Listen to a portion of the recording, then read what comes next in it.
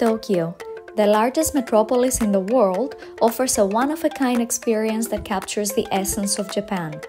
Home to large skyscrapers but also historic temples, Tokyo has it all. Join us as we explore the sights and flavors in Japan's capital city, Tokyo.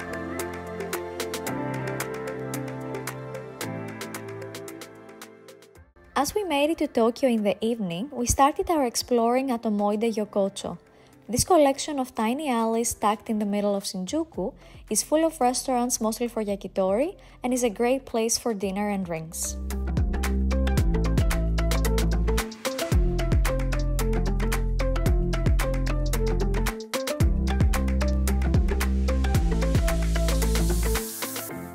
Ended the night at Ben one of the world's best 50 bars. This tiny bar offers exceptional cocktails with no menu. Just tell them what you like and you will not be disappointed.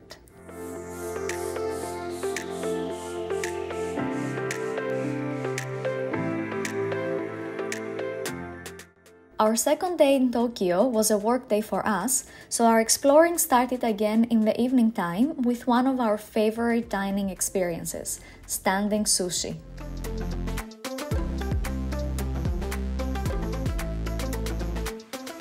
Okay, so standing sushi restaurants are a thing in Tokyo. So you literally just come and stand in front of the preparation area.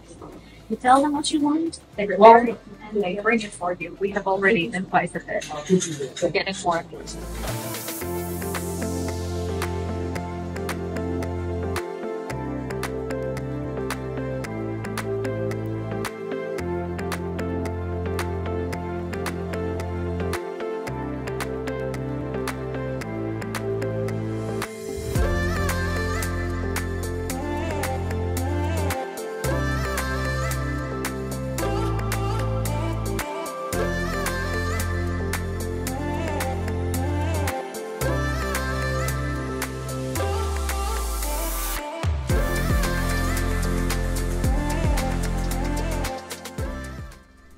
We are now at one of Tokyo's most iconic landmark. And no, it's not the Eiffel Tower. we are the at the Tokyo Tower. Constructed in 1957, obviously inspired by the Eiffel Tower. Um, it's a communications building, but it has two observatories, so it's And the first level, first observatory is at 150 meters. And then if you pay more, you get to go to the next level, which is even higher, 250 meters. so. This is our plan, and we will see you there.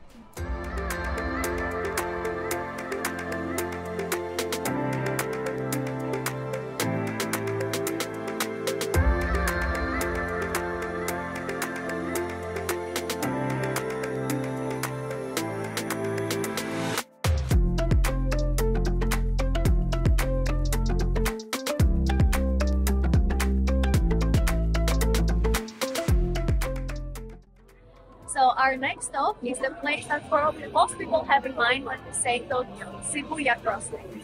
It's a junction where you can cross in any direction, and it's full of digital billboards everywhere. Yes. So now it's our turn to head into the human traffic and see how it feels from up close. Let's go.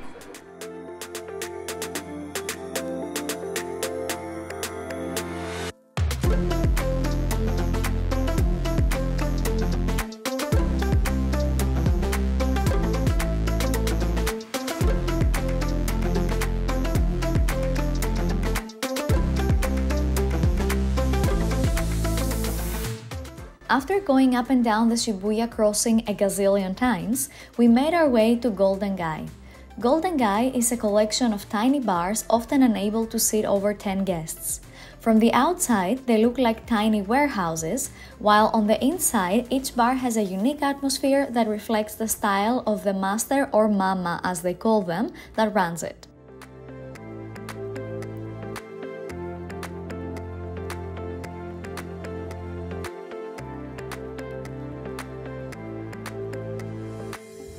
We really enjoyed having a conversation with the local regulars over fine drinks.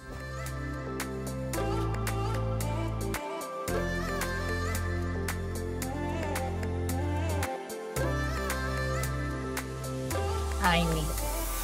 All the bars here. Hello from from another beautiful day in Tokyo. Today we are starting the day at Meiji Jingu Shrine, which is a prominent landmark in Tokyo. The way to Meiji Jingu Shrine is an enjoyable walk through the beautiful Meiji Jingu Gyoen Garden.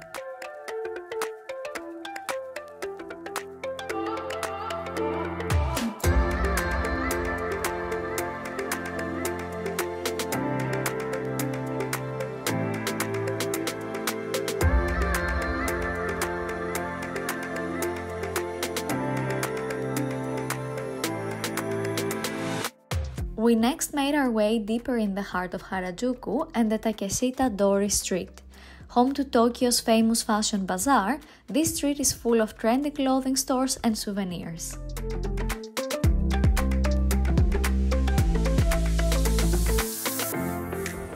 So first stop at Harajuku exploring, successful. We got souvenirs.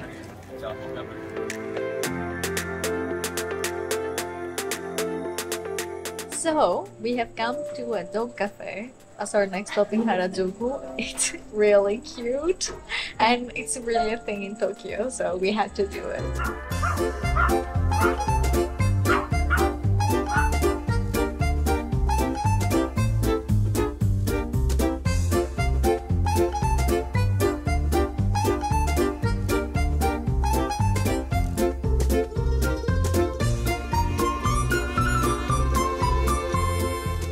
As we started making our way towards Omotesando, we stopped at Maisen for yet another amazing Japanese dish.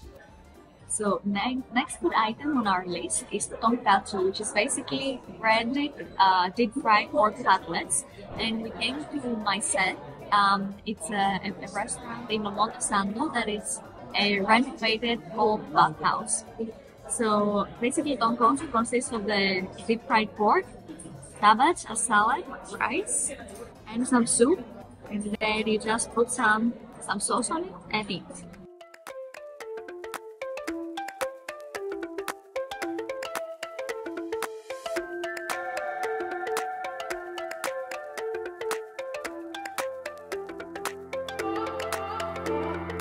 We next started walking around the so called Harajuku Champs Elysees that leads into Omotesando, a high end shopping street with divine contemporary architecture.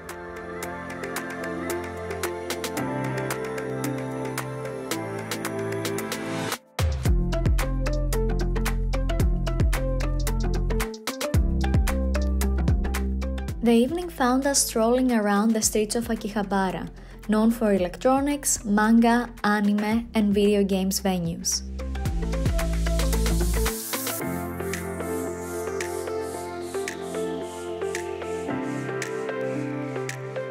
We also paid a visit to a maid cafe, cosplay restaurants where waitresses are dressed in maid costumes.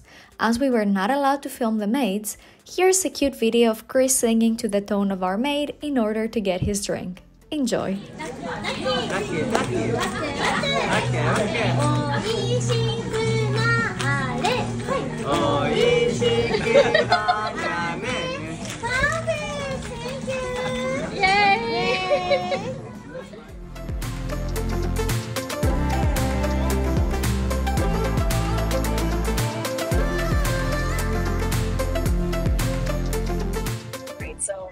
Food item on the list is ramen. And we came to a place in Akihabara, it's called Kyushu Jangara. Jangara Jangara, yes? uh, highly recommended. And So- there's a lot of queue. Yes. Big line waiting. So ramen uh, more or less originate from Sapporo and Hokkaido, but every region has its own interpretation of ramen. So we're here to try the Tokyo one. We were sat at this tiny little cubicle enjoying our tonkotsu ramen that consists of pork belly, mushrooms, noodles, eggs, spring onions, and bamboo shoots.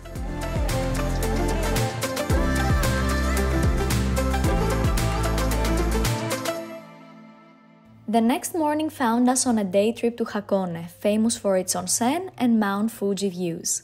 There are two ways to reach there. The first one is to take the Romance train from Shinjuku, which has huge windows for views and takes about one and a half hours. The second and faster way, which is what we did, is to take the Shinkansen from Tokyo Station to Odawara, where you change to a local train that takes you to Hakone. Once we arrived in Hakone, we made our way to our first stop, Owakudani. To get there, we took the local Tozan line to Gora, where we changed to a cable car to Sun Station, and from there changed to the ropeway, so quite some way.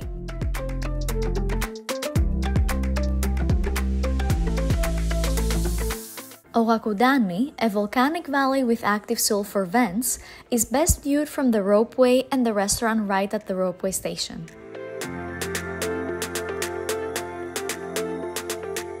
Before heading to our next destination, we made a stop for lunch to try the famous Owakudani curry, made with beef, vegetables, and spices, and served with rice and an optional pork cutlet. We then hopped back to the ropeway and made our way to Lake Ashi. This route is known for the views of Mount Fuji, but unfortunately for us, it was not a clear day.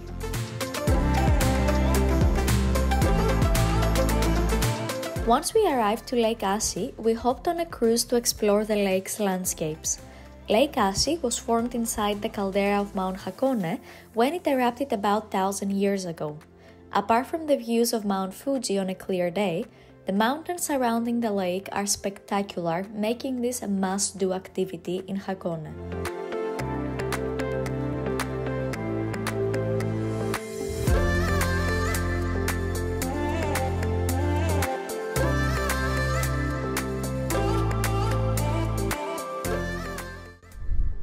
So cruise done and now we are on our way to Hakone Shrine. Hakone Shrine is located inside Lake Ashi, so it offers a pretty solid view, but given its photogenic location, the queue for a photo is really huge.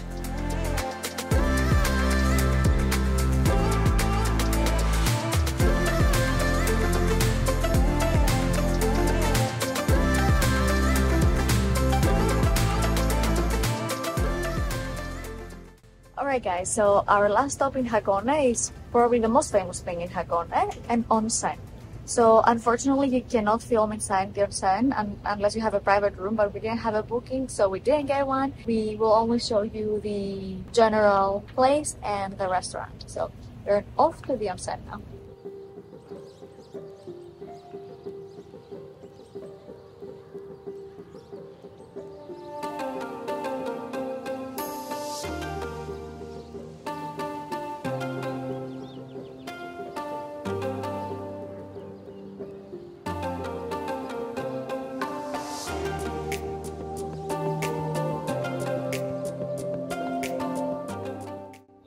So we just finished from the onsen. It was amazing. There are outdoor uh, like um, hot springs. Um, it was really really nice. Like totally recommend when you come to Japan, you have to do this. So in the same um, onsen place, you can also have dinner. So we're having dinner.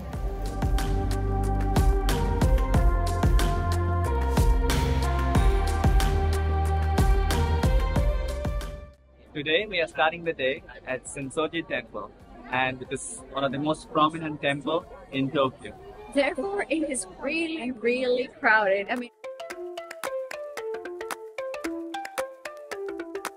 Before getting to the main temple, we were greeted with Nakamise Dori, a busy shopping street full of souvenir and snack stalls.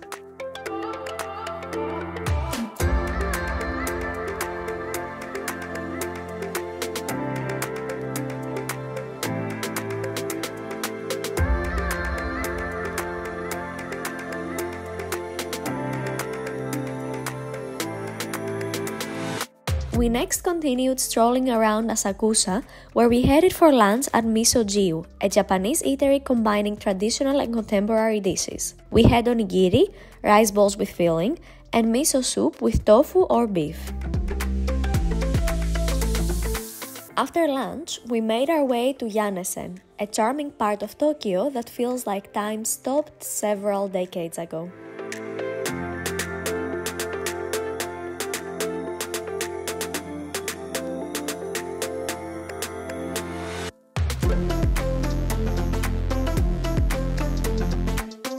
We made a big for cooking up at Kayaba Coffee. This is an old building, uh, very traditional. Um, so it's quite famous among students and artists, and of course, YouTubers. If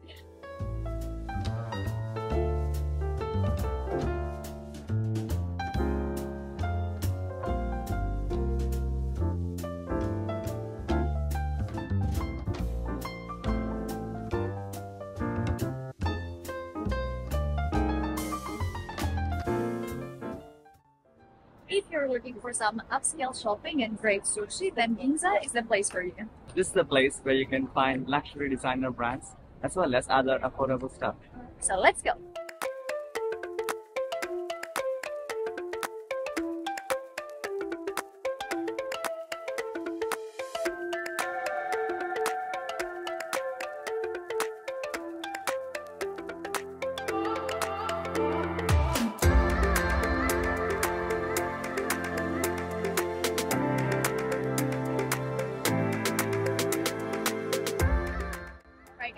Last but not least from our trip to Tokyo, we came to the teamLab Planets exhibition.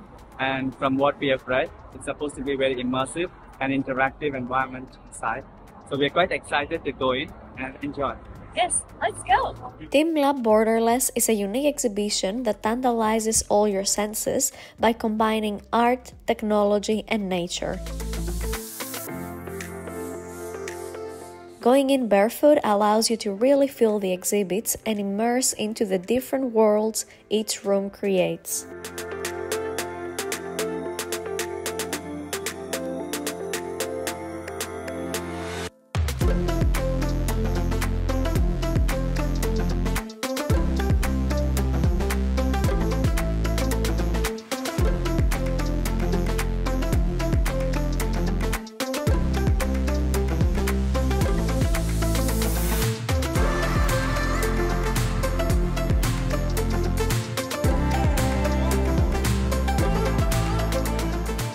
Thank you guys so much for watching and we hope you got some nice ideas for your Japan itinerary.